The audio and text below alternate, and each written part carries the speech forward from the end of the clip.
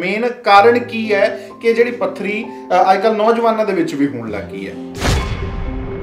ਆਪਾਂ north Indian ਹੈਗੇ ਆ ਸਾਡਾ ਖਾਣਪਨ ਸ਼ੁਰੂ ਤੋਂ ਹੀ ਆਇਲ ਬੇਸਡ ਰਿਹਾ ਤੇ ਅਸੀਂ ਜ਼ਿਆਦਾ ਖਾਣਾ ਖਾਂਦੇ ਆਪਣੀ ਲੋੜ ਤੋਂ ਤੇ ਐਕਸਰਸਾਈਜ਼ ਬਿਲਕੁਲ ਨਹੀਂ ਕਰਦੇ। ਤੇ ਦੂਸਰਾ ਕਾਰਨ ਪਿੱਤੇ ਦੀ ਪੱਥਰੀ ਦਾ ਇਹ ਹੈਗਾ ਕਿ ਜਿਹੜੇ ਲੋਕੀ ਖਾਣਾ ਮਿਸ ਕਰਦੇ ਆ ਡਾਈਟਿੰਗ ਕਰਦੇ ਆ। ਮਤਲਬ ਸਵੇਰੇ ਖਾਣਾ ਨਹੀਂ ਖਾਦਾ ਦੁਪਹਿਰੇ ਖਾਣਾ ਨਹੀਂ ਖਾਦਾ ਤੇ ਰਾਤੀ ਖਾਣਾ ਖਾਦਾ ਸਾਇੰਸ ਕੀ ਹੁੰਦੇ ਆ ਜਿੰਨਾ ਬੰਦੇ ਨੂੰ ਪਤਾ ਲੱਗੇ ਕਿ ਮੇਰੇ ਕਿੱਥੇ ਦਰਦ ਹੋ ਰਹੀ ਹੈ ਤੇ ਕਿਉਂ ਹੋ ਰਹੀ ਹੈ?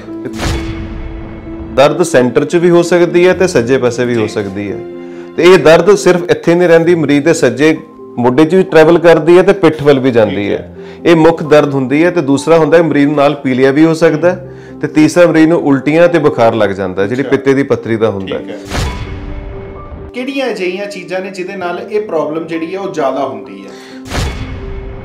ਤੇ ਸਾਡੇ ਇੰਡੀਅਨ ਸਬਕੰਟੀਨੈਂਟ ਚ ਆਪਾਂ ਦੇਖੀਏ ਤਾਂ ਜ਼ਿਆਦਾਤਰ ਪੱਥਰੀਆਂ ਮਿਕਸਡ ਵੈਰਾਈਟੀ ਦੀਆਂ ਹੁੰਦੀਆਂ ਜਿਹਦੇ ਚ ਕੋਲੇਸਟ੍ਰੋਲ ਪਲੱਸ ਪਿਗਮੈਂਟ ਦੇ ਕੰਪਾਊਂਡ ਜਿਵੇਂ ਕੈਲਸ਼ੀਅਮ ਪਾਲਮੀਟੇਟ ਤੇ ਕੈਲਸ਼ੀਅਮ ਬਿਲੀਰੂਬਿਨੇਟ ਇਹ ਦੋ ਕੰਪਾਊਂਡ ਹੁੰਦੇ ਜੋ ਕਿ ਪਿੱਤੇ ਦੀ ਪੱਥਰੀ ਨੂੰ ਬਣਾਉਂਦੇ ਆ।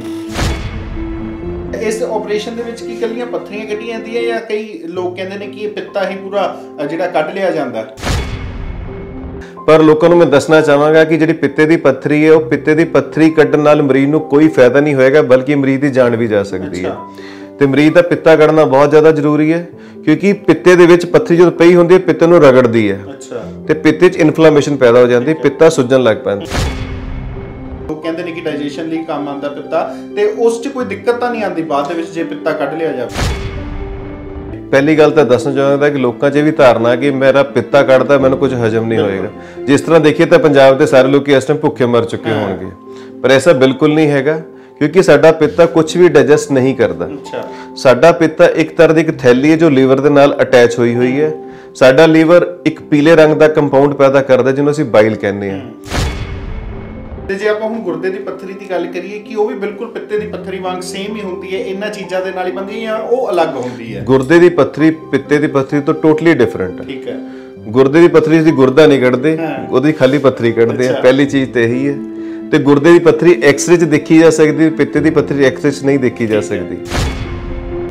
ਗੁਰਦੇ ਦੀ ਪੱਥਰੀ ਦੇ ਬਚਾਅ ਦੇ ਕਾਰਨ ਦਾ ਜੋ ਜੋ ਮੁੱਖ ਜੋ ਆਪਾਂ ਕਰ ਸਕਦੇ ਆਪਣੇ ਲੈਵਲ ਤੋਂ ਹੈਗਾ ਪਾਣੀ ਦਾ ਜ਼ਿਆਦਾ ਪੀਣਾ। ਤੇ ਸਮੇਂ ਸਿਰ ਪ੍ਰੋਪਰ ਖਾਣਾ ਖਾਣਾ ਤੇ ਖਾਣੇ 'ਚ ਜਿਹੜੀਆਂ ਤਬਦੀਲੀਆਂ ਲਿਆਣੀਆਂ ਜਿਵੇਂ ਕੈਲਸ਼ੀਅਮ ਆਕਸਲੇਟ ਸਟੋਨਸ ਹੈ ਉਹਦੇ ਲਈ ਪਾਲਕ ਦਾ ਯੂਜ਼ ਥੋੜਾ ਘੱਟ ਕਰਨਾ ਸਾਗ ਦਾ ਯੂਜ਼ ਘੱਟ ਕਰਨਾ ਟਮਾਟਰਾਂ ਦਾ ਯੂਜ਼ ਘੱਟ ਕਰਨਾ।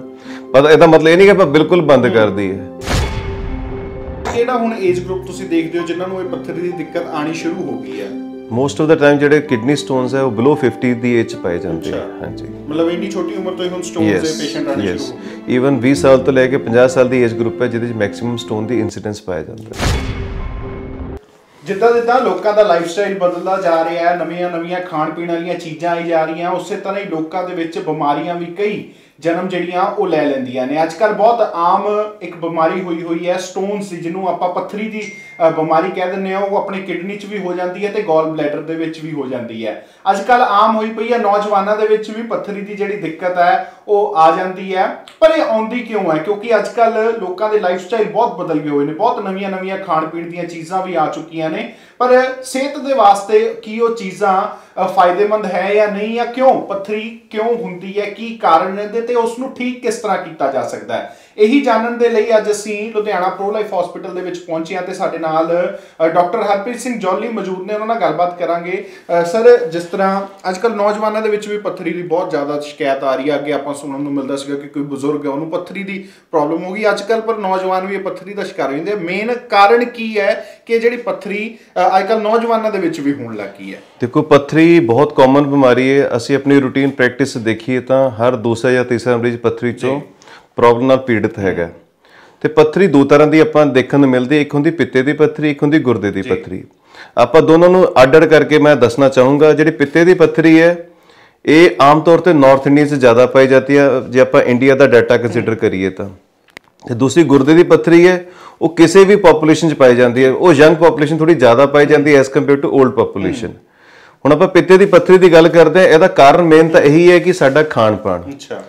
ਆਪਾਂ ਨਾਰਥ ਇੰਡੀਅਨ ਹੈਗੇ ਆ ਸਾਡਾ ਖਾਣਪਨ ਸ਼ੁਰੂ ਤੋਂ ਹੀ ਆਇਲ ਬੇਸਡ ਰਿਹਾ ਤੇ ਅਸੀਂ ਜ਼ਿਆਦਾ ਖਾਣਾ ਖਾਂਦੇ ਆਪਣੀ ਲੋੜ ਤੋਂ ਤੇ ਐਕਸਰਸਾਈਜ਼ ਬਿਲਕੁਲ ਨਹੀਂ ਕਰਦੇ। ਤੇ ਦੂਸਰਾ ਕਾਰਨ ਪਿੱਤੇ ਦੀ ਪੱਥਰੀ ਦਾ ਇਹ ਹੈਗਾ ਕਿ ਜਿਹੜੇ ਲੋਕੀ ਖਾਣਾ ਮਿਸ ਕਰਦੇ ਆ ਡਾਈਟਿੰਗ ਕਰਦੇ ਮਤਲਬ ਸਵੇਰੇ ਖਾਣਾ ਨਹੀਂ ਖਾਦਾ ਦੁਪਹਿਰੇ ਖਾਣਾ ਨਹੀਂ ਖਾਦਾ ਤੇ ਰਾਤੀ ਖਾਣਾ ਖਾਦਾ ਤੇ ਜਿਹੜਾ ਇਹ ਗੈਪ ਪੈ ਜਾਂਦਾ ਸਾਡੇ ਖਾਣੇ ਦੇ ਵਿੱਚ ਜਿਹਨੂੰ ਆਪਾਂ ਡਾਈਟਿੰਗ ਕਹਿੰਦੇ ਇਹਦੇ ਕਰਕੇ ਸਾਡੀ ਬਾਡੀ 'ਚ ਕੁਝ ਹਾਰਮੋਨ ਚੇਂਜਸ ਹੁੰਦੀਆਂ ਜਿਹਦੇ ਕਰਕੇ ਪਿੱਤਾ ਆਪਣੀ ਥਾਂ ਤੇ ਸਟੈਂਡ ਸਟਿਲ ਹੋ ਜਾਂਦਾ। ਤੇ ਉਹਦੇ 'ਚ ਪ੍ਰੈਸਿਪੀਟੇਸ਼ਨ ਸ਼ੁਰੂ ਹੋ ਜਾਂਦੀ ਹੈ ਤੇ ਪੱਥਰੀਆਂ ਬਣ ਸਕਦੀਆਂ। ਤੇ ਬਾਕੀ ਮੇਨ ਕਾਰਨ ਤਾਂ ਫੀਮੇਲ ਦਾ ਹੋਣਾ ਸੈਕਸ ਫੀਮੇਲ ਹੋਏ ਲੇਡੀ ਦੂਸਰਾ ਭਾਰ ਜ਼ਿਆਦਾ ਹੋਣਾ ਜੀ। ਖਾਣੇ ਦਾ ਗਲਤ ਹੋਣਾ ਬਾਕੀ ਹਾਰਮੋਨਲ ਚੇਂजेस ਇਹ ਕੁਝ ਇੱਕ ਫੈਕਟਰ ਹੈ ਜੇ ਜਿਹੜੀ ਪਿੱਤੇ ਦੀ ਪੱਥਰੀ ਦੇ ਮੁੱਖ ਕਾਰਨ ਕਹੇ ਕੇ ਜਾ ਸਕਦੇ ਹਨ। ਸਾਇੰਸ ਕੀ ਹੁੰਦੇ ਨੇ ਪੱਥਰੀ ਦਰਦ ਦੇ? ਕਿਉਂਕਿ ਪਿੱਤਾ ਆਲਮੋਸਟ ਕਿਹਾ ਜਾਂਦਾ ਹੈ ਕਿ ਵੀ ਇੱਥੇ ਸੈਂਟਰ 'ਚ ਹੁੰਦਾ ਛਾਤੀ ਦੇ। ਜਦੋਂ ਇੱਥੇ ਦਰਦ ਹੁੰਦੀ ਹੈ ਬੰਦੇ ਨੂੰ ਲੱਗਦਾ ਮੈਨੂੰ ਹਾਰਟ ਅਟੈਕ ਆ ਗਿਆ। ਸਾਇੰਸ ਕੀ ਹੁੰਦੇ ਆ ਜਿੰਨਾ ਬੰਦੇ ਨੂੰ ਪਤਾ ਲੱਗੇ ਕਿ ਮੇਰੇ ਕਿੱਥੇ ਦਰਦ ਹੋ ਰਹੀ ਹੈ ਤੇ ਕਿਉਂ ਹੋ ਰਹੀ ਹੈ? ਦੇਖੋ ਮੋਸਟ ਆਫ ਜਿਹੜੀ ਪਿੱਤੇ ਦੀ ਪੱਥਰੀ ਉਹ ਏਸਿੰਪਟੋਮੈਟਿਕ ਰਹਿੰਦੀ ਹੈ। ਕਾਫੀ ਸਾਲ ਤੱਕ ਮਰੀਜ਼ ਨੂੰ ਪਤਾ ਨਹੀਂ ਲੱਗਦਾ ਕਿ ਮੈਨੂੰ ਪੱਥਰੀ ਹੈਗੀ। ਜਦ ਤੱਕ ਜਾ ਕੇ ਉਹ ਅਲਟਰਾਸਾਊਂਡ ਨਹੀਂ ਕਰਾਉਂਦਾ। ਜੇ ਸਿੰਪਟਮ ਹੁੰਦੇ ਵੀ ਸਭ ਤੋਂ ਪਹਿਲਾਂ ਹੁੰਦਾ ਦਰਦ। ਦਰਦ ਸੈਂਟਰ 'ਚ ਵੀ ਹੋ ਸਕਦੀ ਹੈ ਤੇ ਸੱਜੇ ਪਾਸੇ ਵੀ ਹੋ ਸਕਦੀ ਹੈ। ਤੇ ਇਹ ਦਰਦ ਸਿਰਫ ਇੱਥੇ ਨਹੀਂ ਰਹਿੰਦੀ ਮਰੀਜ਼ ਦੇ ਸੱਜੇ ਮੋਢੇ 'ਚ ਵੀ ਟਰੈਵਲ ਕਰਦੀ ਹੈ ਤੇ ਪਿੱਠ ਵੱਲ ਵੀ ਜਾਂਦੀ ਹੈ। ਇਹ ਮੁੱਖ ਦਰਦ ਹੁੰਦੀ ਹੈ ਤੇ ਦੂਸਰਾ ਹੁੰਦਾ ਹੈ ਮਰੀਜ਼ ਨੂੰ ਨਾਲ ਪੀਲੀਆ ਵੀ ਹੋ ਸਕਦਾ ਹੈ ਤੇ ਤੀਸਰਾ ਮਰੀਜ਼ ਨੂੰ ਉਲਟੀਆਂ ਤੇ ਬੁਖਾਰ ਲੱਗ ਜਾਂਦਾ ਹੈ ਜਿਹੜੀ ਪਿੱਤੇ ਦੀ ਪੱਥਰੀ ਦਾ ਹੁੰਦਾ ਹੈ। ਜੇ ਮਰੀਜ਼ ਬਹੁਤ ਜ਼ਿਆਦਾ ਕੰਪਲਿਕੇਟ ਹੋ ਜਾਏ ਤੇ ਮਰੀਜ਼ ਦੇ ਪੇਟ ਫੁੱਲ ਵੀ ਜਾਂਦਾ ਉਹਦੀ ਲੈਟਰਨ ਵੀ ਬੰਦ ਹੋ ਸਕਦੀ ਹੈ ਤੇ ਮਰੀਜ਼ ਦੇ ਲੀਵਰ 'ਚ ਫੋੜਾ ਵੀ ਬਣ ਸਕਦਾ ਜਾਂ ਹੋਰ ਦਿੱਕਤਾਂ ਵੀ ਖੜੀਆਂ ਹੋ ਸਕਦੀਆਂ ਹਨ। ਜਿਸ ਤਰ੍ਹਾਂ ਕਈ ਖਾਣ ਪੀਣ ਵਾਲੀਆਂ ਚੀਜ਼ਾਂ ਹੁੰਦੀਆਂ ਜਿਹੜੀਆਂ ਆਪਾਂ ਖਾਸ ਤੌਰ ਤੇ ਮਨਾ ਕਰਦੇ ਹਾਂ ਕਿ ਵੀ ਇਸ ਚੀਜ਼ ਦੇ ਨਾਲ ਇਹ ਪੱਥਰੀ ਹੋ ਸਕਦੀ ਹੈ। ਕਿਹੜੀਆਂ ਅਜਿਹੀਆਂ ਚੀਜ਼ਾਂ ਨੇ ਜਿਹਦੇ ਨਾਲ ਇਹ ਪ੍ਰੋਬਲਮ ਜਿਹੜੀ ਹੈ ਉਹ ਜ਼ਿਆਦਾ ਹੁੰਦੀ ਹੈ? ਦੇਖੋ ਪੱਥਰੀ ਦੀ ਜਿਹੜੀ ਆਪਾਂ ਜੇ ਆਪਾਂ ਕੈਮੀਕਲ ਬਣਤਰ ਦੇਖੀਏ ਤਾਂ ਤਿੰਨ ਤਰ੍ਹਾਂ ਦੇ ਇੱਕ ਹੁੰਦਾ cholesterol stones obviously cholesterol stone ਉਹਨਾਂ 'ਚ ਹੁੰਦੇ ਜਿਨ੍ਹਾਂ 'ਚ ਕੋਲੇਸਟ੍ਰੋਲ ਦੀ ਕੁਆਂਟੀਟੀ ਬਲੱਡ 'ਚ ਜ਼ਿਆਦਾ ਹੈ। ਤੇ ਦੂਸਰੇ ਹੁੰਦੇ ਮਿਕਸ ਸਟੋਨਸ ਮਿਕਸ ਸਟੋਨਸ ਹੁੰਦੇ ਜਿਹੜੀ ਸਾਡੀ ਇੰਡੀਅਨ ਪੋਪੂਲੇਸ਼ਨ ਹੈ ਉਹਦੇ 'ਚ ਕੋਲੇਸਟ੍ਰੋਲ ਪਲੱਸ ਪਿਗਮੈਂਟ ਮਿਕਸ ਹੋ ਕੇ ਸਟੋਨ ਬਣਾਉਂਦੇ ਉਹਨਾਂ ਨੂੰ ਮਿਕਸ ਸਟੋਨ ਕਿਹਾ ਜਾਂਦਾ ਤੇ ਤੀਸਰੇ ਹੁੰਦੇ ਆ ਪਿਗਮੈਂਟ ਸਟੋਨਸ ਉਹ ਆਮ ਤੌਰ ਤੇ ਜਿਨ੍ਹਾਂ ਨੂੰ ਲੀਵਰ ਦੀ ਬਿਮਾਰੀ ਜਾਂ ਖੂਨ ਦੀ ਬਿਮਾਰੀ ਹੁੰਦੀ ਉਹਨਾਂ 'ਚ ਪਾਏ ਜਾਂਦੇ ਆ।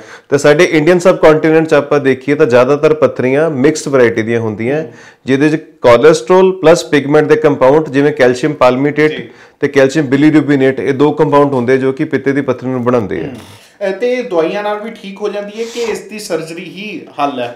ਦੇਖੋ ਮੋਸਟ ਆਫ ਦਾ ਟਾਈਮ ਜੇ ਪੱਥਰੀ ਬਹੁਤ ਸਮੇਂ ਤੋਂ ਪਈ ਰਹਿੰਦੀ ਹੈ ਤਾਂ ਪੱਕ ਕੇ ਹਾਰਡ ਹੋ ਜਾਂਦੀ ਹੈ ਤੇ ਉਹ ਕਿਸੇ ਵੀ ਦਵਾਈ ਨਾਲ ਨਹੀਂ ਘੁਲ ਸਕਦੀ। ਤੇ ਜੇ ਕੋਲੇਸਟ੍ਰੋਲ ਦੀਆਂ ਪੱਥਰੀਆਂ ਬਹੁਤ ਛੋਟੇ ਰੂਪ 'ਚ ਹੋਣ ਆਪਾਂ ਉਹਨੂੰ ਦਵਾਈ ਨਾਲ ਘੋਲ ਕੇ ਕੱਢ ਸਕਦੇ ਹਾਂ ਕਿਉਂਕਿ ਕੋਲੇਸਟ੍ਰੋਲ ਪਾਣੀ 'ਚ ਘੁਲ ਜਾਂਦਾ ਤੇ ਟਰੈਵਲ ਹੋ ਕੇ ਅੱਗੇ ਨਿਕਲ ਜਾਂਦਾ। ਪਰ ਜਿਹੜੀਆਂ ਮਿਕਸ ਸਟੋਨ ਹੈ ਤੇ ਜਾਂ ਪਿਗਮੈਂਟ ਸਟੋਨਸ ਹੈ ਉਹ ਕਿਸੇ ਵੀ ਦਵਾਈ ਨਾਲ ਨਹੀਂ ਘੁਲ ਸਕਦੀਆਂ ਤੇ ਉਹਨਾਂ ਨੂੰ ਆਪਰੇਸ਼ਨ ਹੀ ਕਰਾਉਣਾ ਪੈਂਦਾ। ਇਸ ਆਪਰੇਸ਼ਨ ਦੇ ਵਿੱਚ ਕੀ ਕੱਲੀਆਂ ਪੱਥਰੀਆਂ ਕੱਢੀਆਂ ਜਾਂਦੀਆਂ ਜਾਂ ਕਈ ਲੋਕ ਕਹਿੰਦੇ ਨੇ ਕਿ ਇਹ ਪਿੱਤਾ ਹੀ ਪੂਰਾ ਜਿਹੜਾ ਕੱਢ ਲਿਆ ਜਾਂਦਾ? ਲੋਕਾਂ ਦਾ ਇਹਦੇ ਬਾਰੇ ਬਹੁਤ ਧਾਰਨਾਵਾਂ ਹੈ ਕਿ ਪਿੱਤਾ ਕਿਉਂ ਕੱਢਿਆ ਜਾਏ ਜੇ ਪੱਥਰੀ ਕੱਢਣ ਆਪਾਂ ਠੀਕ ਹੋ ਸਕਦੇ ਹਾਂ। ਪਰ ਲੋਕਾਂ ਨੂੰ ਮੈਂ ਦੱਸਣਾ ਚਾਹਾਂਗਾ ਕਿ ਜਿਹੜੀ ਪਿੱਤੇ ਦੀ ਪੱਥਰੀ ਹੈ ਉਹ ਪਿੱਤੇ ਦੀ ਪੱਥਰੀ ਕੱਢਣ ਨਾਲ ਮਰੀਜ਼ ਨੂੰ ਕੋਈ ਫਾਇਦਾ ਨਹੀਂ ਹੋਏਗਾ ਬਲਕਿ ਮਰੀਜ਼ ਦੀ ਜਾਨ ਵੀ ਜਾ ਸਕਦੀ ਹੈ। ਤੇ ਮਰੀਜ਼ ਦਾ ਪਿੱਤਾ ਕੱਢਣਾ ਬਹੁਤ ਜ਼ਿਆਦਾ ਜ਼ਰੂਰੀ ਹੈ ਕਿਉਂਕਿ ਪਿੱਤੇ ਦੇ ਵਿੱਚ ਪੱਥਰੀ ਜਦੋਂ ਪਈ ਹੁੰਦੀ ਹੈ ਪਿੱਤੇ ਨੂੰ ਰਗੜਦੀ ਹੈ। ਅੱਛਾ। ਤੇ ਪਿੱਤੇ 'ਚ ਇਨਫਲੇਮੇਸ਼ਨ ਪੈਦਾ ਹੋ ਜਾਂਦੀ ਪਿੱਤਾ ਸੁੱਜਣ ਲੱਗ ਪੈਂਦਾ ਹੈ। ਸਾਨੂੰ ਦਰਦ ਪਿੱਤੇ ਦੀ ਪੱਥਰੀ ਦੇ ਹੋਣ ਕਰਕੇ ਨਹੀਂ ਹੁੰਦੀ ਪਿੱਤੇ ਦੀ ਸੋਜ ਕਰਕੇ ਹੁੰਦੀ ਹੈ। ਜਿਹਨੂੰ ਅਸੀਂ ਐਕਿਊਟ ਕੋਲੀਸਿਸਟਾਈਟਿਸ ਕਹਿੰਦੇ ਆ ਤੇ ਜੇ ਆਪਾਂ ਪੱਥਰੀ ਕੱਢ ਵੀ ਦਵਾਂਗੇ ਪਿੱਤੇ 'ਚ ਹੋਲ ਕਰਕੇ ਤਾਂ ਮਰੀਜ਼ ਦੇ ਪੱਥੋਂ ਬਾਈਲ ਲੀਕ ਹੋ ਜਾਏਗਾ। ਜਦੋਂ ਬਾਈਲ ਲੀਕ ਹੋਏਗਾ ਮਰੀਜ਼ ਨੂੰ ਕੰਪਲਿਕੇਸ਼ਨ ਹੋਣਗੀਆਂ। ਤੇ ਉਹ ਕੰਪਲਿਕੇਸ਼ਨ ਅਵੋਇਡ ਕਰ ਲਈ ਸਾਡਾ ਫਰਜ਼ ਬਣਦਾ ਸੀ ਪਿੱਤੇ ਨੂੰ ਹੀ ਕੱਢੀਏ। ਜਾਂ ਸਾਡੇ ਜਿਹੜੀ ਸਰਜੀਕਲ ਗਾਈਡਲਾਈਨਸ ਉਹੀ ਕਹਿੰਦੀਆਂ ਕਿ ਪਿੱਤੇ ਨੂੰ ਪੱਥਰੀ ਦੇ ਨਾਲ ਕੱਢਣਾ ਜ਼ਰੂਰੀ ਹੈ। ਨਹੀਂ ਤਾਂ ਮਰੀਜ਼ ਠੀਕ ਨਹੀਂ ਹੋਏਗਾ। ਕੀ ਇਹ ਬਿਲਕੁਲ ਸੇਫ ਰਹਿੰਦਾ ਕਿ ਪਿੱਤਾ ਇੱਕ ਬਾਡੀ ਪਾਰਟ ਬੰਦੇ ਦਾ ਵਿੱਚੋਂ ਕੱਢ ਲਿਆ ਜਾਵੇ ਤਾਂ ਅੱਗੇ ਲਈ ਉਹਨੂੰ ਕੋਈ ਪ੍ਰੋਬਲਮ ਤਾਂ ਨਹੀਂ ਕਰਦਾ ਜਿਵੇਂ ਡਾਈਜੈਸ਼ਨ ਲਈ ਵੀ ਲੋਕ ਕਹਿੰਦੇ ਨੇ ਕਿ ਡਾਈਜੈਸ਼ਨ ਲਈ ਕੰਮ ਆਉਂਦਾ ਪਿੱਤਾ ਤੇ ਉਸ 'ਚ ਕੋਈ ਦਿੱਕਤ ਤਾਂ ਨਹੀਂ ਆਉਂਦੀ ਬਾਅਦ ਦੇ ਵਿੱਚ ਜੇ ਪਿੱਤਾ ਕੱਢ ਲਿਆ ਜਾਵੇ? ਪਹਿਲੀ ਗੱਲ ਤਾਂ ਦੱਸਣਾ ਚਾਹੁੰਦਾ ਕਿ ਲੋਕਾਂ 'ਚ ਇਹ ਵੀ ਧਾਰਨਾ ਕਿ ਮੇਰਾ ਪਿੱਤਾ ਕੱਢਦਾ ਮੈਨੂੰ ਕੁਝ ਹਜਮ ਨਹੀਂ ਹੋਏਗਾ। ਜਿਸ ਤਰ੍ਹਾਂ ਦੇਖੀਏ ਤਾਂ ਪੰਜਾਬ ਦੇ ਸਾਰੇ ਲੋਕੀ ਇਸ ਟਾਈਮ ਭੁੱਖੇ ਮਰ ਚੁੱਕੇ ਹੋਣਗੇ। ਪਰ ਐਸਾ ਬਿਲਕੁਲ ਨਹੀਂ ਹੈਗਾ। ਕਿਉਂਕਿ ਸਾਡਾ ਪਿੱਤਾ ਕੁਝ ਵੀ ਡਾਈਜੈਸਟ ਨਹੀਂ ਕਰਦਾ। ਅੱਛਾ। ਸਾਡਾ ਪਿੱਤਾ ਇੱਕ ਤਰ੍ਹਾਂ ਦੀ ਇੱਕ ਥੈਲੀ ਹੈ ਜੋ ਲੀਵਰ ਦੇ ਨਾਲ ਅਟੈਚ ਹੋਈ ਹੋਈ ਹੈ। ਸਾਡਾ ਲੀਵਰ ਇੱਕ ਪੀਲੇ ਰੰਗ ਦਾ ਕੰਪਾਊਂਡ ਪੈਦਾ ਕਰਦਾ ਜਿਹਨੂੰ ਅਸੀਂ ਬਾਈਲ ਕਹਿੰਦੇ ਹਾਂ। ਜੇ ਬਾਈਲ ਪੈਦਾ ਹੁੰਦਾ ਤਾਂ ਜਦੋਂ ਤੱਕ ਅਸੀਂ ਯੂਜ਼ ਨਹੀਂ ਕਰਦੇ ਪਿੱਤੇ 'ਚ ਸਟੋਰ ਹੋ ਕੇ ਰਹਿੰਦਾ। ਜਦੋਂ ਸਟੋਰ ਹੋ ਕੇ ਰਹਿੰਦਾ ਅਸੀਂ ਖਾਣਾ ਖਾਂਦੇ ਹਾਂ ਇੱਕ ਸਟਿਮੂਲਸ ਪੈਦਾ ਹੁੰਦਾ ਤੇ ਪਾਣੀ ਸਾਰਾ ਲੀਕ ਹੋ ਕੇ ਇੰਟੈਸਟਾਈਨ ਦੇ ਵਿੱਚ ਚਲਾ ਜਾਂਦਾ ਤੇ ਖਾਣਾ ਹਜਮ ਹੋ ਜਾਂਦਾ। ਠੀਕ ਹੈ। ਜੇ ਆਪਾਂ ਪਿੱਤੇ ਨੂੰ ਕੱਢ ਦਈਏ ਸਾਰਾ ਫੰਕਸ਼ਨ ਲੀਵਰ ਟੇਕ ਓਵਰ ਕਰ ਲੈਂਦਾ ਹੈ। ਇਸ ਕਰਕੇ ਕਿਸੇ ਦੇ ਪਿੱਤਾ ਕੱਢਣ ਨਾਲ ਕਿਸੇ ਮਰੀਜ਼ ਨੂੰ ਵੀ ਖਾਣੇ ਦੀ ਡਾਈਜੈਸ਼ਨ ਨਾ ਹੋਏ ਐਸਾ ਬਿਲਕੁਲ ਨਹੀਂ ਹੁੰਦਾ। ਕੁਝ ਧਾਰਨਾਵਾਂ ਹੁੰਦੀਆਂ। ਹਾਂ ਕਈ ਲੋਕੀ 10 ਤੋਂ 20% ਇਹ ਹੁੰਦਾ ਕਿ ਉਹਨਾਂ ਨੂੰ ਲੈਟਿਨ ਕਈ ਵਾਰੀ ਬਾਰ-ਬਾਰ ਜਾਣਾ ਪੈ ਸਕਦਾ ਪਰ ਥੋੜੇ ਦਿਨਾਂ ਜਾਂ ਥੋੜੇ ਮਹੀਨਿਆਂ ਚ ਬਾਡੀ ਆਟੋਮੈਟਿਕਲੀ ਐਡਜਸਟ ਹੋ ਕੇ ਨਾਰਮਲ ਲੈਵਲ ਤੇ ਸ਼ਿਫਟ ਹੋ ਜਾਂਦੀ ਹੈ। ਠੀਕ ਹੈ। ਤੇ ਜੇ ਆਪਾਂ ਹੁਣ ਗੁਰਦੇ ਦੀ ਪੱਥਰੀ ਦੀ ਗੱਲ ਕਰੀਏ ਕਿ ਉਹ ਵੀ ਬਿਲਕੁਲ ਪਿੱਤੇ ਦੀ ਪੱਥਰੀ ਵਾਂਗ ਸੇਮ ਹੀ ਹੁੰਦੀ ਹੈ ਇਹਨਾਂ ਚੀਜ਼ਾਂ ਦੇ ਨਾਲ ਹੀ ਬੰਦੀ ਜਾਂ ਉਹ ਅਲੱਗ ਹੁੰਦੀ ਹੈ? ਗੁਰਦੇ ਦੀ ਪੱਥਰੀ ਪਿੱਤੇ ਦੀ ਪੱਥਰੀ ਤੋਂ ਟੋਟਲੀ ਡਿਫਰੈਂਟ ਹੈ। ਠੀਕ ਹੈ। ਗੁਰਦੇ ਦੀ ਪੱਥਰੀ ਦੀ ਗੁਰਦਾ ਨਹੀਂ ਕੱਢਦੇ ਉਹਦੀ ਖਾਲੀ ਪੱਥਰੀ ਕੱਢਦੇ ਆ। ਪਹਿਲੀ ਚੀਜ਼ ਤੇ ਇਹੀ ਹੈ। ਤੇ ਗੁਰਦੇ ਦੀ ਪੱਥਰੀ ਐਕਸ-ਰੇ 'ਚ ਦੇਖੀ ਜਾ ਸਕਦੀ ਪਿੱਤੇ ਦੀ ਪੱਥਰੀ ਐਕਸ-ਰੇ 'ਚ ਨਹੀਂ ਦੇਖੀ ਜਾ ਸਕਦੀ। ਪਿੱਤੇ ਦੀ ਪੱਥਰੀ ਅਸੀਂ ਸਿਰਫ ਅਲਟਰਾਸਾਊਂਡ 'ਚ ਦੇਖ ਸਕਦੇ ਹਾਂ ਤੇ ਗੁਰਦੇ ਦੀ ਪੱਥਰੀ ਅਲਟਰਾਸਾਊਂਡ 'ਚ ਵੀ ਦੇਖ ਸਕਦੇ ਹਾਂ ਤੇ ਐਕਸ-ਰੇ 'ਚ ਵੀ ਦੇਖ ਸਕਦੇ ਹਾਂ। ਤੇ ਜਿਹੜੀ ਗੁਰਦੇ ਦੀ ਪੱਥਰੀ ਤਿੰਨ ਰੂਪ 'ਚ ਪ੍ਰੈਜ਼ੈਂਟ ਕਰਦੀ ਹੈ ਜਾਂ ਤਾਂ ਗੁਰਦੇ 'ਚ ਹੋਏਗੀ ਜਾਂ ਗੁਰਦੇ ਦੀ ਪਾਈਪ 'ਚ ਹੋਏਗੀ ਜਾਂ ਮਸਾਨੇ 'ਚ ਹੋਏਗੀ। ਤੇ ਤਿੰਨੇ ਥਾਵਾਂ ਤੇ ਪੱਥਰੀ ਦਾ ਹੋਣਾ ਅੱਡ-ਅੱਡ ਸਿੰਪਟਮ ਪੈਦਾ ਕਰਦਾ ਹੈ। ਠੀਕ ਹੈ। ਜੇ ਕਿਡਨੀ 'ਚ ਹੋਏਗੀ ਤਾਂ ਕਿਡਨੀ ਦੀ ਦਰਦ ਹੋਏਗੀ ਨਹੀਂ ਤਾਂ ਜੇ ਪਾਈਪ 'ਚ ਹੋਏਗੀ ਤਾਂ ਬਹੁਤ ਜ਼ਿਆਦਾ ਸੀਵੀਅਰ ਕੋਲਿਕੀ ਪੇਨ ਹੁੰਦੀ ਹੈ। ਜੇ ਮਸਾਨੇ 'ਚ ਹੋਏਗੀ ਤਾਂ ਮਰੀਜ਼ ਨੂੰ ਪਿਸ਼ਾਬ 'ਚ ਖੂਨ ਆਣਾ ਸ਼ੁਰੂ ਹੋ ਜਾਂਦਾ ਹੈ। ਹੈ।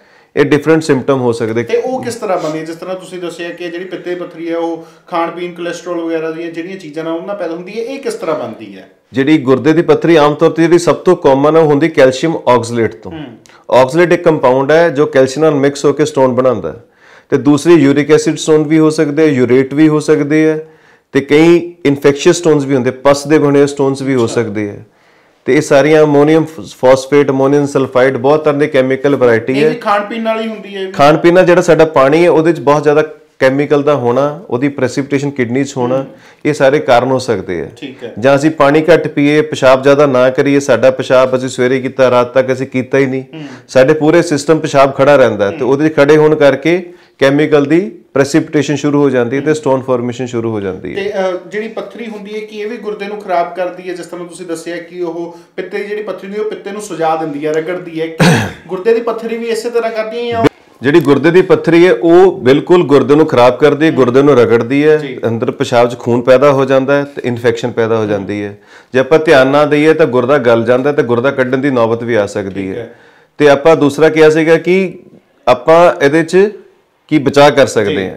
ਗੁਰਦੇ ਦੀ ਪੱਥਰੀ ਦੇ ਬਚਾਅ ਦੇ ਕਾਰਨ ਦਾ ਜੋ ਜੋ ਮੁੱਖ ਜੋ ਆਪਾਂ ਕਰ ਸਕਦੇ ਆਪਣੇ ਲੈਵਲ ਤੋਂ ਹੈਗਾ ਪਾਣੀ ਦਾ ਜ਼ਿਆਦਾ ਪੀਣਾ ਤੇ ਸਮੇਂ ਸਿਰ ਪ੍ਰੋਪਰ ਖਾਣਾ ਖਾਣਾ ਤੇ ਖਾਣੇ 'ਚ ਜਿਹੜੀਆਂ ਤਬਦੀਲੀਆਂ ਲਿਆਣੀਆਂ ਜਿਵੇਂ ਕੈਲਸ਼ੀਅਮ ਆਕਸਲੇਟ ਸਟੋਨਸ ਹੈ ਉਹਦੇ ਲਈ ਪਾਲਕ ਦਾ ਯੂਜ਼ ਥੋੜਾ ਘੱਟ ਕਰਨਾ ਸਾਗ ਦਾ ਯੂਜ਼ ਘੱਟ ਕਰਨਾ ਟਮਾਟਰਾਂ ਦਾ ਯੂਜ਼ ਘੱਟ ਕਰਨਾ। ਪਰ ਇਹਦਾ ਮਤਲਬ ਇਹ ਨਹੀਂ ਕਿ ਆਪਾਂ ਬਿਲਕੁਲ ਬੰਦ ਕਰ ਦਈਏ ਯੂਜ਼ ਘੱਟ ਕਰਨਾ। ਤੇ ਇੱਕ ਲੋਕਾਂ ਜੇ ਵੀ ਧਾਰਨਾ ਕਿ ਮੈਂ ਬੀਅਰ ਪੀਊਂਗਾ ਮੇਰੇ ਪੱਥਰ ਨਿਕਲਣਗੇ। ਪਰ ਸ਼ਾਇਦ ਉਹ ਬੀਅਰ ਪੀ ਕੇ ਪੱਥਰ ਵਧਾ ਲੈਂਦੇ ਲੋਕੀ। ਕਿਉਂਕਿ ਜਿਹੜਾ ਆਕਸਲੇਟ ਕੰਪਾਊਂਡ ਹੈ ਸਭ ਤੋਂ ਜ਼ਿਆਦਾ ਬੀਅਰ ਵਿੱਚ ਹੀ ਪਾਇਆ ਜਾਂਦਾ ਪਹਿਲੀ ਸਲਾਹ ਇਹੀ ਹੁੰਦੀ ਹੈ ਜਦੋਂ ਅਲਟਰਾਸਾਊਂਡ ਚਾਹੁੰਦਾ ਹੈ ਕਿ ਇਹਦੇ ਪੱਥਰੀ ਹੈ ਤਾਂ ਉਹਨੂੰ ਪਹਿਲਾਂ ਠੇਕੇ ਤੇ ਲੈ ਕੇ ਜਾਂਦੇ ਨੇ। ਇਹ ਕਹਿੰਦੇ ਬੀਅਰ ਪੀ ਲਓ ਤੁਸੀਂ। ਨਹੀਂ ਬੇਸਿਕਲੀ ਜਿਹੜਾ ਜਿਹੜਾ ਆਪਣਾ ਬੀਅਰ ਦਾ ਪਾਣੀ ਆ ਜੌਂ ਤੋਂ ਬਣਿਆ ਹੁੰਦਾ। ਹੈ। ਤੇ ਜੌਂ ਦੇ ਵਿੱਚ ਸਭ ਤੋਂ ਜ਼ਿਆਦਾ ਕੈਲਸ਼ੀਅਮ ਆਕਸਾਈਡ ਪਾਇਆ ਜਾਂਦਾ ਹੈ ਤੇ ਜੋ ਸਾਡੀ ਕਿਡਨੀ 'ਚ ਪ੍ਰੈਸਿਪੀਟੇਟ ਹੁੰਦਾ ਹੈ। ਤੇ ਮਰੀਜ਼ ਨੂੰ ਇਹੀ ਸਲਾਹ ਹੈ ਕਿ ਜ਼ਿਆਦਾ ਪਾਣੀ ਪੀਏ ਕਿਉਂਕਿ ਬਾਡੀ ਨੇ ਸਾਡੀ ਫੂਡ ਪਾਈਪ ਤੋਂ ਬਾਅਦ ਸਾਰਾ ਲਿਕੁਇਡ ਪਾਣੀ ਹੀ ਬਣਨਾ ਹੈ ਕਿਉਂਕਿ ਬਾਡੀ ਬੀਅਰ ਨੂੰ ਪ੍ਰੋਸੈਸ ਨਹੀਂ ਕਰ ਸਕਦੀ ਪਾਣੀ ਨੂੰ ਪ੍ਰੋਸੈਸ ਕਰੇਗੀ। ਇਸ ਦੇ ਨਾਲ ਬੀਅਰ ਦੇ ਨਾਲ ਨਾਲ ਲੋਕ ਕਹਿੰਦੇ ਨੇ ਕਿ ਸੋਡਾ ਵੀ ਤੁਸੀਂ ਪੀਓ ਸੋਡੇ ਵਾਲੀਆਂ ਚੀਜ਼ਾਂ ਜ਼ਿਆਦਾ ਤੋਂ ਜ਼ਿਆਦਾ ਤੁਸੀਂ ਪੀਓ ਸੋਡੇ ਦੇ ਨਾਲ ਵੀ ਤੁਹਾਡੀ ਪੱਥਰੀ ਗਲ ਜੇਗੀ ਦੇਖੋ ਸੋਡਾ ਪੀਂਦੇ ਨਾਲ ਹੀ ਸਾਨੂੰ ਇੱਕ ਡਕਾਰ ਆਉਂਦਾ ਹੈ। ਤੇ ਸਾਡੇ ਮਿਹਦੇ 'ਚ HCl ਹੁੰਦਾ ਅਸੀਂ ਸੋਡੀਅਮ ਬਾਈਕਾਰਬੋਨੇਟ ਪੀਂਦੇ ਆ ਸੋਡੀਅਮ ਕਲੋਰਾਈਡ ਅੱਡ ਰਹਿ ਜਾਂਦਾ ਹੈ HCO ਨਿਕਲ ਕੇ ਬਾਹਰ ਆ ਜਾਂਦੀ ਹੈ ਅਸੀਂ ਡਕਾਰ ਮਾਰਦੇ CO2 ਤੇ ਇਸ ਕਰਕੇ ਫਿਰ ਸੋਡਾ ਫਿਰ ਮਿੱਦੇ 'ਚ ਪਾਣੀ ਹੀ ਬਣ ਜਾਂਦਾ ਹੈ। ਇਹ ਸਿਰਫ ਤੁਹਾਡੇ ਸਵਾਦ ਤੱਕ ਸੀਮਤ ਹੈ। ਅਲਟੀਮੇਟਲੀ ਤੁਹਾਨੂੰ ਪਾਣੀ ਹੀ ਕੰਮ ਕਰੇਗਾ। ਜਿੱਥੋਂ ਤੱਕ ਹੋ ਸਕੇ 2 ਤੋਂ 3 ਲੀਟਰ ਤੱਕ ਪਾਣੀ ਰੋਜ਼ ਪੀਓ ਤਾਂ ਪੱਥਰੀ ਦੀ ਨੌਬਤ ਆਉਣ ਦੇ ਚਾਂਸਸ ਕਾਫੀ ਘਟ ਜਾਣਗੇ। ਤੇ ਇਹ ਇਹਦਾ ਵੀ ਦਵਾਈਆਂ ਦੇ ਨਾਲ ਹੀ ਠੀਕ ਹੋ ਜਾਂਦੀ ਹੈ ਕਿ ਇਹਦਾ ਵੀ ਸਰਜਰੀ ਹੀ ਕਰਾਣੀ ਪੈਂਦੀ ਦੇਖੋ ਆਮ ਤੌਰ ਤੇ ਜਿਹੜੀਆਂ ਸਟੋਨ 5 ਤੋਂ 6 mm ਦੇ ਹੈਗੀਆਂ ਅਸੀਂ ਉਹਨਾਂ ਨੂੰ ਟ੍ਰਾਇਲ ਦਿੰਨੇ ਆ ਦਵਾਈ ਦਾ ਤੇ 60 ਤੋਂ 70% ਲੋਕਾਂ ਦੇ ਪੱਥਰ ਨਿਕਲ ਜਾਂਦੇ ਠੀਕ ਹੈ। ਤੇ ਉਹ ਦਵਾਈ ਨਾਲ 2 ਤੋਂ 3 ਹਫ਼ਤੇ ਦਾ ਟ੍ਰਾਇਲ ਦੇ ਕੇ ਅਸੀਂ ਕੋਸ਼ਿਸ਼ ਕਰਦੇ ਹਾਂ ਤੇ ਕਾਫੀ ਲੋਕੀ ਸਫਲ ਵੀ ਹੋ ਜਾਂਦੇ ਆ ਪੱਥਰ ਕੱਢਣ 'ਚ। ਜੇ ਨਹੀਂ ਹੋਏ ਬਲੌਕ ਹੋ ਜਾਏ ਫਿਰ ਅਸੀਂ ਲੇਜ਼ਰ ਥੈਰੇਪੀ ਨਾਲ ਉਹਨਾਂ ਦੇ ਸਟੋਨ ਕੱਢ ਸਕਦੇ ਹਾਂ। ਆਮ ਤੌਰ ਤੇ ਕਿਹੜਾ ਹੁਣ ਏਜ ਗਰੁੱਪ ਤੁਸੀਂ ਦੇਖਦੇ ਹੋ ਜਿਨ੍ਹਾਂ ਨੂੰ ਇਹ ਪੱਥਰੀ ਦੀ ਦਿੱਕਤ ਆਣੀ ਸ਼ੁਰੂ ਹੋ ਗਈ ਹੈ?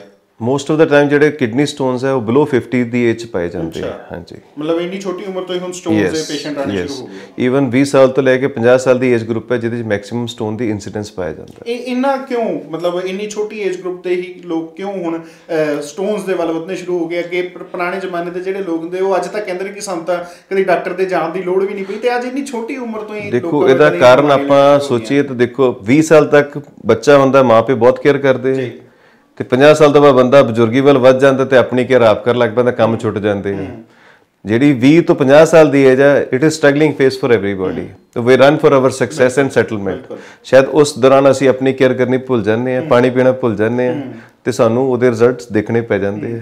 ਸਲਾਹ ਕੀ ਆ ਹੁਣ ਲੋਕਾਂ ਨੇ ਤਾਂ ਕਿ ਉਹਨਾਂ ਨੂੰ ਪਿੱਤੇ ਦੀ ਪੱਥਰੀ ਵੀ ਨਾ ਹੋਵੇ ਤੇ ਗੁਰਦੇ ਦੀ ਵੀ ਪੱਥਰੀ ਤੋਂ ਬਚਾ ਰੱਖਣ। ਦੇਖੋ ਸਭ ਤੋਂ ਪਹਿਲਾਂ ਆਪਣਾ ਧਿਆਨ ਰੱਖਣਾ ਸਿੱਖੋ ਸਮੇਂ ਸਿਰ ਖਾਣਾ ਖਾਓ ਪ੍ਰੋਪਰ ਪਾਣੀ ਦਾ ਯੂਜ਼ ਕਰੋ। ਤੇ ਹੋ ਸਕੇ ਤਾਂ ਡਾਕਟਰ ਨੂੰ ਰੈਗੂਲਰਲੀ ਮਿਲੋ। ਮਾੜੀ ਮੋਟੀ ਦਰਦ ਹੈ ਤਾਂ ਛੋਟਾ ਮੋਟਾ ਸਟੋਨ ਹੈ ਤੁਹਾਡੀ ਦਵਾਈ ਨਾਲ ਨਿਕਲ ਸਕਦਾ ਹੈ। ਡਾਕਟਰ ਨੂੰ ਰੈਗੂਲਰਲੀ ਮਿਲਣ 'ਚ ਹੀ ਤੁਹਾਡੀ ਭਲਾਈ ਹੈ।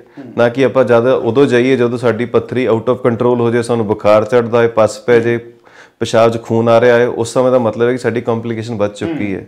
ਤਾਂ ਲੋਕਾਂ ਨੂੰ ਇਹੀ ਸਲਾਹ ਹੈ ਕਿ ਰੈਗੂਲਰਲੀ ਚੈੱਕਅਪ ਕਰੋ ਆਪਣਾ ਧਿਆਨ ਰੱਖੋ। ਰੈਗੂਲਰਲੀ ਡਾਕਟਰ ਦੀ ਵਿਜ਼ਿਟ ਕਰੋ ਤੇ ਆਪਣੀ ਇਨਵੈਸਟੀਗੇਸ਼ਨ ਕਰਾ ਕੇ ਤੰਦਰੁਸਤ ਰਹੋ। ਜੀ ਬਹੁਤ ਬਹੁਤ ਧੰਨਵਾਦ you ਤਾਂ ਜੀ। ਇਹ ਸਨ ਸਾਡੇ ਨਾਲ ਡਾਕਟਰ ਹਰਪ੍ਰੀਤ ਸਿੰਘ ਜੋਲੀ ਜੀ ਨਾਲ ਆਪਣਾ ਗੱਲਬਾਤ ਕੀਤੀ ਹੈ ਕਿ ਪਿੱਤੇ ਦੀ ਪੱਥਰੀ ਅਤੇ ਗੁਰਦੇ ਦੀ ਪੱਥਰੀ ਦੇ ਵਿੱਚ ਫ਼ਰਕ ਕੀ ਹੈ ਤੇ ਕਿਸ ਤਰ੍ਹਾਂ ਇਹ ਹੁੰਦੀ ਹੈ ਤੇ ਇਹਨਾਂ ਨੇ ਸਲਾਹ ਵੀ ਦਿੱਤੀ ਹੈ ਲੋਕਾਂ ਨੂੰ ਕਿ ਟਾਈਮ ਟਾਈਮਲੀ ਆਪਣਾ ਚੈੱਕਅਪ ਕਰਾਓ ਆਪਣੀ ਅਲਟਰਾਸਾਊਂਡ ਕਰਾਓ ਤਾਂ ਕਿ ਤੁਹਾਨੂੰ ਪਤਾ ਲੱਗਦਾ ਰਹੇ ਕਿ ਤੁਹਾਡੀ ਬਾਡੀ ਦੇ ਵਿੱਚ ਚੱਲ ਕੀ ਰਿਹਾ ਨਾ ਕਿ ਉਦੋਂ ਆਓ ਜਦੋਂ ਤੁਹਾਡੀ ਪ੍ਰੋਬਲਮਸ ਹੱਦ ਨਾਲੋਂ ਜ਼ਿਆਦਾ ਵੱਜੇ ਤਾਂ ਦੇਰੇ ਅਪਡੇਟਸ ਸਾਨੂੰ ਜੁੜੇ ਰਹੋ ਲੁਧਿਆਣਾ ਤੋਂ ਸਨਮਜੀਤ ਸਿੰਘ ਕੈਮਰਾਮੈਨ ਸਤਨ ਮੁਠੜ ਨਾਲ ਲੁਧਿਆਣਾ। Names.